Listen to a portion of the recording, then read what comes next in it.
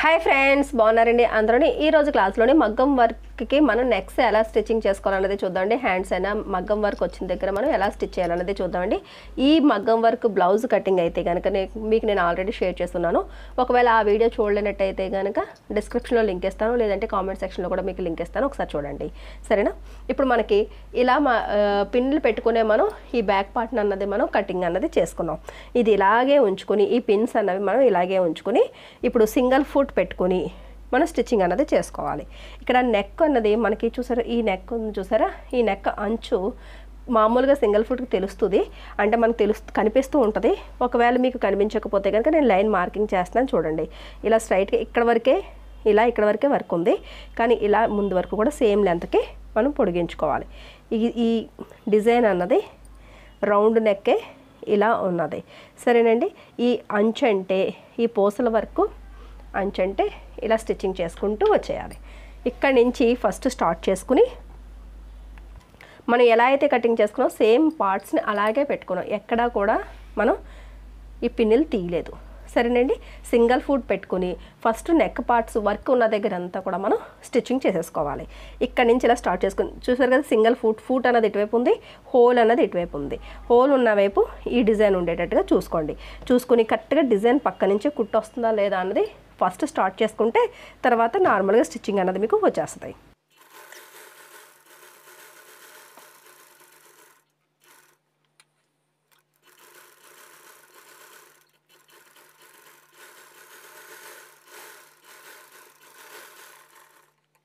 ఇది చూసారు కదా ఇలా స్టిచ్చింగ్ అయిన తర్వాత ఇవి ఉన్నాయి కదా పిన్స్ అన్నవి చుట్టూ రిమూవ్ చేసేయండి.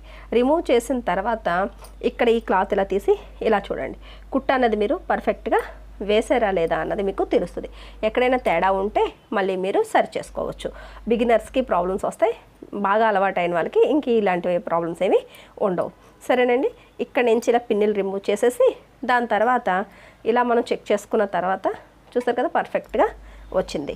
ఇక్కడ కుట్టు కుట్టిన తర్వాత మనకి కరెక్ట్గా ఒక పావించ్ అన్నది. స్టిచ్చింగ్కి ఒక పావించ్ అన్నది వదిలేసి ఇలా కటింగ్ అన్నది చేసేసుకోవాలి.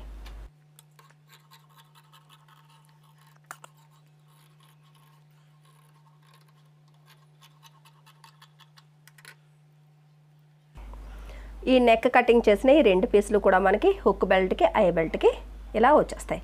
సరేనా? ఇది పాడేయకుండా ఇలా ఉంచుకోండి. దాని తర్వాత ఇక్కడ కటింగ్స్ అన్నవి పెట్టేసుకోవాలి. చిన్న చిన్న కట్స్ పెట్టుకుంటూ వచ్చేయాలి.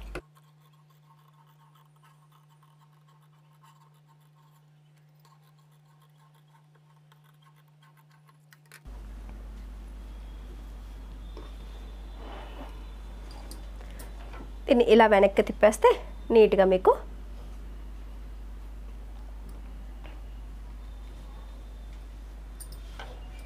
ఇలా నెక్ అనేది రెడీ అయిపోయింది. చూసారు కదా? ఇలా. ఇక్కడ మధ్య మధ్యలోని ఒక్కొక్క కుట్టు అనేది ఇక్కడ టాకా వేసుకుంటే బాగుంటుంది. చేతి కుట్లు వేసుకున్నట్టుగా ఒక్కొక్క టాకా వేసుకుంటూ వస్తే కనుక లైనింగ్ అన్నది మీకు వాష్ చేసిన తర్వాత కూడా మీకు ఇలా పైకి రాకుండా ఫినిషింగ్ అన్నది బాగుంటుంది. చేతి కుట్లు వేస్తున్నట్టు. సరేనండి? చూసారు కదా? నీట్గా ఇలా మనకి నెక్ వచ్చేస్తుంది దాని తర్వాత ఇలా బ్యాక్ సైడ్కి ఇలా తిప్పుకొని సింగిల్ ఫుట్ కాకుండా నార్మల్ ఫుట్ పెట్టిన తర్వాత అన్నీ మొత్తం స్టిచ్చింగ్ అయిపోయిన తర్వాత ఇక్కడి నుంచి ఇలా మొత్తం రౌండ్స్ అంతా స్టిచ్ చేసేసుకోవాలి. ఇలా రౌండ్ అంతా స్టిచ్ చేసుకున్న తర్వాత ఇక్కడ మీరు కటింగ్ చేసేసుకుని హెమ్మింగ్ బెల్ట్ వేసుకుని నార్మల్గానే మీరు ఇలాగా డాట్స్ వేసేసుకోవాలి. ఇది బ్యాక్ పార్ట్ స్టిచ్చింగ్ చేసుకునే పద్ధతి. దాని తర్వాత ఫ్రంట్. ఫ్రంట్ దగ్గరికి వచ్చేటప్పటికి ఇది చూడండి. ఇక్కడ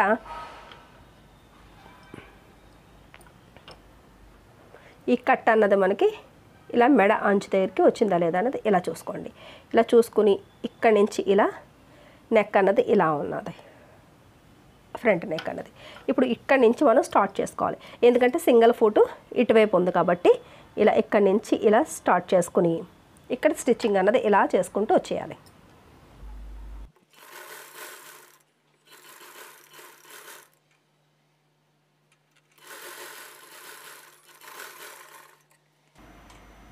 ఇక్కడ పావు ఇంచ్ మార్జిన్ వదిలి ఇది కూడా కటింగ్ చేసేయాలి.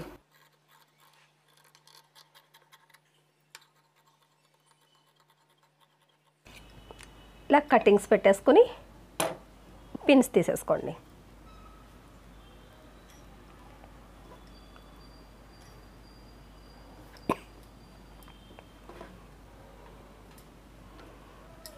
ఇది ఫ్రంట్ పార్ట్ స్టిచ్చింగ్ చేసుకుని పద్ధతి. సరేనండి ఈ రకంగా చూసారు కదా సింగిల్ ఫూట్ ఉన్నప్పుడే మొత్తం మగ్గం వర్క్ అంతా మీరు రెడీ చేసేసుకోవాలన్నమాట.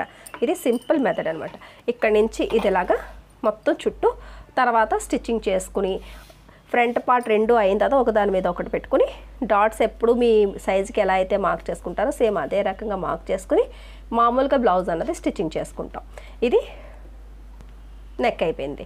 ఇప్పుడు ఈ ఫ్రంట్ వైపు ఇటువైపు నెక్ స్టిచ్చింగ్ చేయాలి అంటే కనుక ఇక్కడ పావు తక్కువ మూడు ఇంచీలు అన్నది చూసరికి కటింగ్ కూడా పెట్టాం. పావు తక్కువ మూడు ఇంచీలు అన్నది ఇక్కడ మనం మార్కింగ్ చేసుకున్న బ్లౌజ్ అనమాట అంటే ఈ మెడ వెడల్పు అనమాట స్టిచ్చింగ్ అయ్యేటప్పటికి. ఇప్పుడు ఇక్కడి నుంచి ఈ నెక్ డీప్ ఎంత అన్నది తెలుసుకోవాలనుకుంటే కనుక ఈ చివరన లైనింగ్కి ఇప్పుడు ఈ నెక్ అంతా కూడా స్టిచ్చింగ్ చేసేసి ఇలా మడిచిన తర్వాత ఇక్కడ నుంచి ఇలా పెట్టి ఈ లై ఈ లైనింగ్ అంచు కింద లైనింగ్ అంచు ఎక్కడ వరకు ఉందో ఇలా చూసుకుని ఇలా పెడితే మార్కింగ్ అన్నది మనకి ఇలా ఇక్కడికి వస్తుంది. సరేనా? ఈ కట్ట దగ్గరికి ఈ కట్ట దగ్గరికి ఇది ఇలా పెడతాం. ఇలా పెట్టిన తర్వాత చూసారు కదా ఇది మనకి నెక్ రౌండ్ అనమాట ఇలా. చూసారు కదా? ఇది మన నెక్ రౌండ్. ఇప్పుడు ఈ రౌండ్కి ఇలా స్టిచ్చింగ్ చేసేసి ముక్క వెనక్కి తిప్పేస్తే మనకి వర్క్ అన్నది ఫాస్ట్గా అయిపోద్ది. లేదు స్ట్రాంగ్గా ఉండాలి క్లాత్ ఏమైనా పల్చగా ఉంది ఆపట్ అని ఏమైనా అనిపిస్తే కనుక ఇక్కడ మళ్ళీ మనం హెమ్మింగ్ బెల్ట్ అన్నది వేసుకోవాలి. హెమ్మింగ్ బెల్ట్ వేసుకోవాలి అంటే ఎగ్జాక్ట్గా పావించ్ మార్జిన్ అన్నది ఇలాగా వదిలేయాలి. వదిలేసి ఫస్ట్ మనం కటింగ్ చేసుకుని ఇప్పుడు ఈ పావించ్ మార్జిన్తోని మనం హెమ్మింగ్ బెల్ట్ వేసుకుని స్టిచ్చింగ్ చేసుకుని వెనక్కి తిప్పి స్టిచ్ చేసుకోవాలి. ఎప్పుడు నెక్కి ఎలా అయితే స్టిచ్ చేసుకుంటామో సేమ్ అదే రకంగా. నేనైతే కనుక ఇక్కడికి ఇలా కుట్టేసి నేను ముక్క అనేది వెనక్కి తిప్పేస్తున్నాను. సరేనండి? ఇక్కడి నుంచి ఇదిలా స్టిచ్ చేసుకోండి.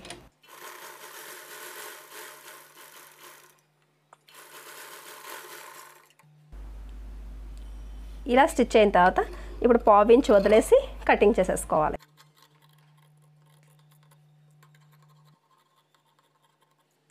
ఇప్పుడు దీన్ని కట్స్ పెట్టేసుకున్న తర్వాత ఇలా వెనక్కి తిప్పేసుకోవాలి. అంతే. మనకి ఇటువైపు నెక్ అన్నది ఈజీగా రెడీ అయిపోద్ది. ఇలా వెనక్కి తిప్పుకున్న తర్వాత పైనుంచి ఒక టాప్ స్టిచ్ అన్నది వేసుకుంటే మనకి ఫినిషింగ్ అన్నది బాగుంటుంది.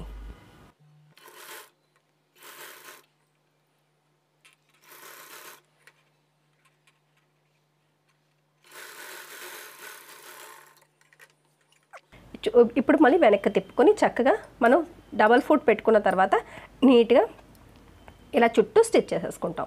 ఇప్పుడు చూడండి నెక్ స్టిచ్ అయిన తర్వాత రెండూ కూడా ఒకటే సైజులోకి రావాలి. ఈ చివరిని ఇలా మనం పెట్టేటప్పటికి ఇది చూసారు కదా? ఇది ఇలా. రెండు కూడా ఒకే సైజులోకి వచ్చేసాయి కదా? ఇలా ఫ్రంట్ పార్ట్ని స్టిచ్ చేసుకోవాలి. దాని తర్వాత మనం నార్మల్గానే డాట్స్ అనేవి వేసుకుని హెమ్మింగ్ బెల్ట్ అనేది వేసుకుని బ్లౌజ్ వచ్చి కాబట్టి చక్కగా అలాగే స్టిచ్ చేసుకుని హుక్ బెల్ట్ ఐ బెల్ట్లో పెట్టేసుకుంటాం. ఇక్కడ స్టిచ్చింగ్ చేయడానికి కూడా హుక్ బెల్ట్లకైనా ఐ బెల్ట్కైనా మనకి మార్జిన్ కూడా ఉంచుకున్నాం కదా స్టిచ్చింగ్ కూడా చాలా ఈజీ అవుతుంది. ఇక్కడ కుట్టు కుట్టేటప్పుడు కూడా మీరు సింగిల్ ఫుడ్ పెట్టి స్టిచ్ చేసుకుంటే కనుక ఓకే. నా- నేనైతే కనుక ఇటువైపు హుక్కులు పెట్టుకుంటాను కాబట్టి ఇక్కడ నుంచి ఇలా స్టిచ్ చేసుకుని వెనక్కి ఇలా తిప్పేసుకుంటే నాకు హుక్ బెల్ట్ అన్నది ఇలా వచ్చేస్తాయి సరేనండి? దాని తర్వాత హ్యాండ్. హ్యాండ్ దగ్గరకు వచ్చేటప్పటికి ఇలా మనం ఫోల్డ్ చేసి ఇలా పెట్టుకున్నాం కదా సేమ్ కటింగ్ చేసేటప్పుడు పిన్నులు ఉన్నాయి కదా ఈ పిన్నులే. ఇప్పుడు ఇక్కడ ఫస్ట్ మనకి అంచు కుట్టుకోవాలి కాబట్టి ఈ లైన్ దగ్గరికి పావించ్ లైన్ దగ్గరికి కరెక్ట్గా ఈ లైనింగ్ అంచు ఉన్నదా లేదా అన్నది ఇలాగ చెక్ చేసుకోండి. మనం మార్కింగ్ చేసాం కదా ఇలాగా. సరేనా? పిన్స్ పెట్టుకున్నాం కదా. ఇప్పుడు వర్క్ ఎక్కడైతే ఉందో అక్కడికి ఇది కూడా సేమ్ అదే రకంగా సింగిల్ ఫుట్తోని స్టిచ్చింగ్ అన్నది చేసేసుకోవాలి. సరేనండి? ఇప్పుడు స్టిచ్చింగ్ అన్నది మనకి ఇలా వస్తుంది.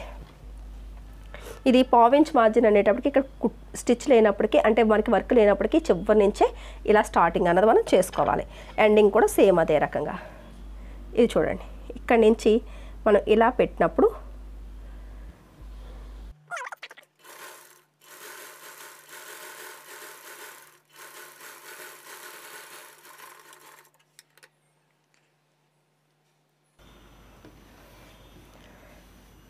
ఇక్కడ ఇలా ఎక్స్ట్రాగా ఉన్న క్లాత్ని కటింగ్ చేసేసుకోండి. ఇప్పుడు ఇది ఇలా రివర్స్ చేస్తే ఇలా రివర్స్ చేసి ఇక్కడ ఒక స్టిచ్ వేసేసుకోండి.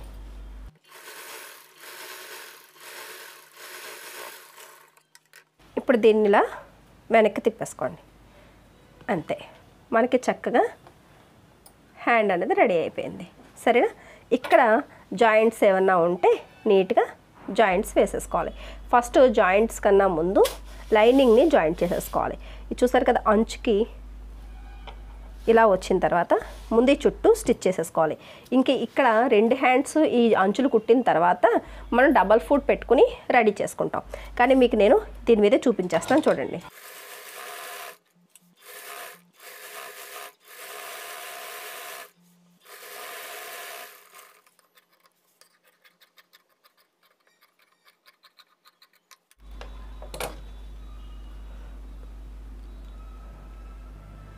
ఇక్కడ నుంచి ఇది ఇలా పెట్టి ఫస్ట్ ఇక్కడ స్టిచ్ చేసుకోండి. ఒక పాదం ఖర్చు వెడల్పుని స్టిచ్ చేసుకోండి. ఇది ఇలా తిరిగేసి పైనుంచి ఒక టాప్ స్టిచ్ వేయండి. అప్పుడు ఇలా వెనక్కి తిప్పి లైనింగ్ అంచు అంటే ఒక కుట్టు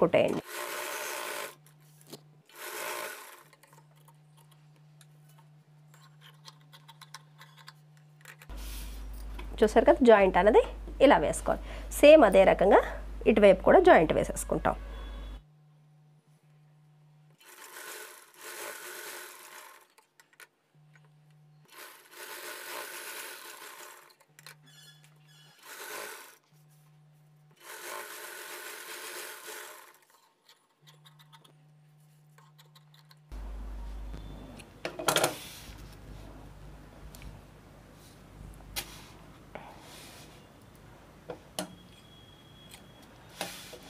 చూసారు కదా? ఇప్పుడు హ్యాండ్ అనేది ఇలా రెడీ అయింది? చక్కగా రెండు ఇంచుల ఖర్చుల దగ్గర నుంచి ఇలా మనకి